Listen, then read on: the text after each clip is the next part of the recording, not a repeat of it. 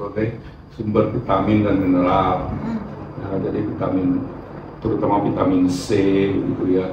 Sama juga buah-buahan yang lain itu banyak vitamin C, kemudian gula, gula, eh, fruktosa eh, dan eh, asam juga ya sumber asam dan eh, eh, mungkin ada beberapa mineral yang khusus ya terutama pada buah-buahan itu kalau dimakan dengan kulit-kulitnya seperti apel, pir itu kan dimakan dengan kulitnya ya.